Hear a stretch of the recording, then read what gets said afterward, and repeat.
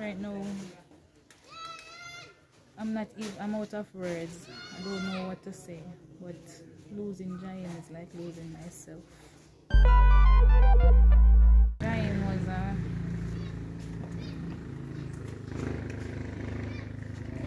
Jaheim was a very humble, easygoing person. Very jovial, friendly with everybody around stuff.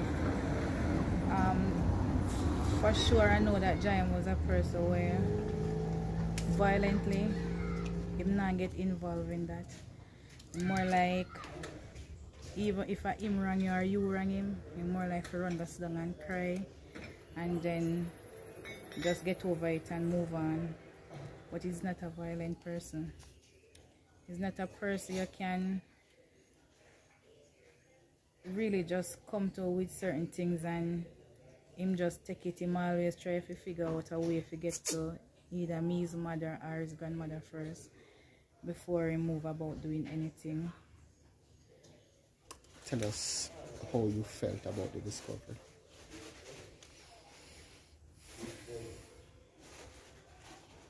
Feelings when I think feelings would have been the, the perfect word? Because it's like I was nothing, I was nobody at the time when I really realized it was him.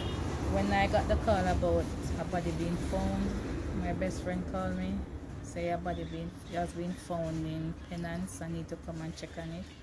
I was at the time in a paymaster line in May Pen. I got so frustrated but with the help of the security there I got through and leave when I leave, I realized I wouldn't be getting a taxi to reach up there early enough. So I called my baby father to bring me up there. And on the way, I got a next call saying oh, that probably the body is not Jaheim because the body have a tattoo to it. So I was, my mind was free at the time. Say, okay, if the person have a tattoo is not Jaheim because Jaheim doesn't wear, doesn't have a tattoo. But then my mommy called me and said that there is a red pullover on the scene. And I know for sure Jaheim has a red pullover. So then again I got I started worried and I was even hurrying up the, the driver saying for me case and reach up there. When I reached I saw the crowd I saw the police I saw the you call it? The earth and the earth the body van and I, I got nervous same time but then I saw my best friend and I asked the car driver to stop and him stop and I come out the car yes, and I hug her before and tell her that. I asked her, I asked her if she's sure it is Jaheim and she said she don't know because the body is swollen so she cannot tell if it's Jaheim yes or no. So that is when the cameraman had the scene showed me a picture on the camera. When he showed me the two pictures I said I cannot identify him from that because I don't see nothing where I should say it's Jaheim and then I know for sure I start grieving. I was crying.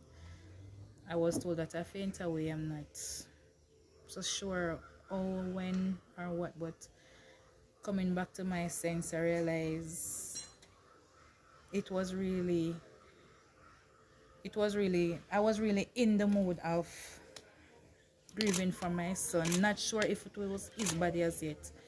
But then the reporter come to me and said if I asked if I sure if I want to check on the body and if I'm sure I can angle it and I tell him yes. And then he take me to the van because the body was already took up and put in the van. He take me to the van and pull the zip. When I real when I look at it yes the face part looked like Jaheim but cannot really sure because of the body was swollen but then I asked him to show me the hair because I could identify him from his hair. When I look at the hair I saw the ear texture and realized that it is him. And there's also a scar he got when he was a minor baby. The scar was could still be seen on the face so then I know for sure it was him. Yes, well of course this is where this young man will attend worship service and uh, well, the youth leader will give some report.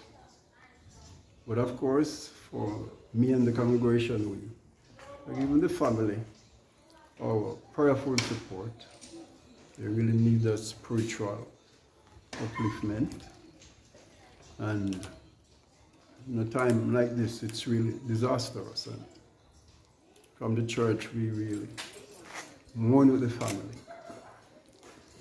We were there up to last night praying with them and encouraging them because, of course, it's really something that the whole community have been shivered.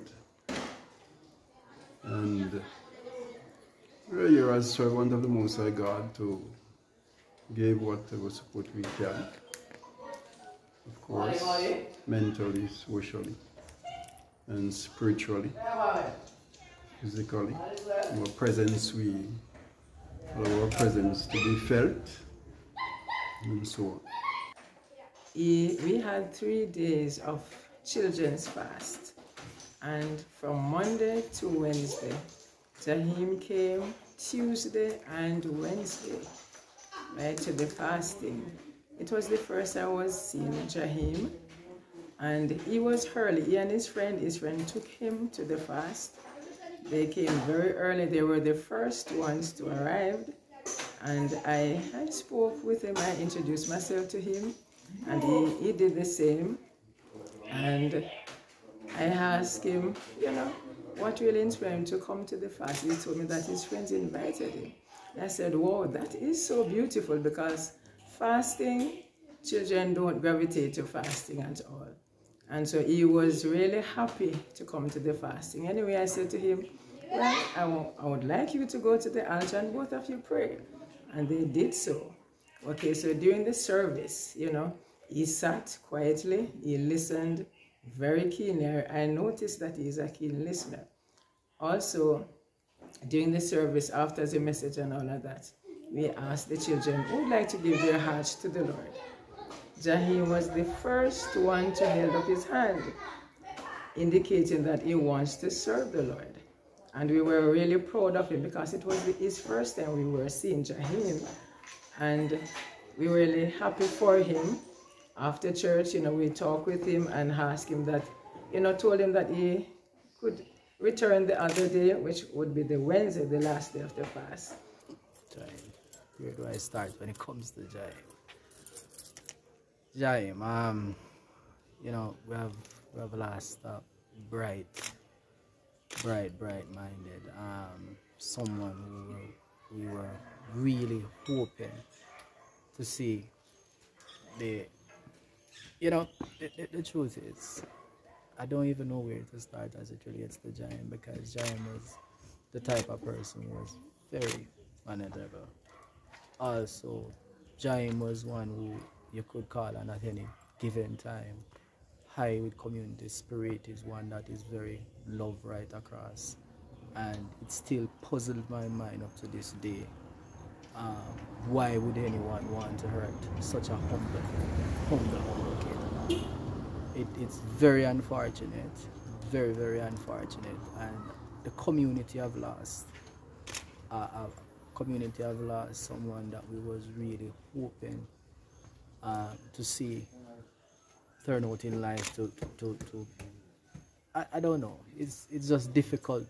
It's really, really difficult to give a feedback on Jaheim, sir, as the counselor for the area. So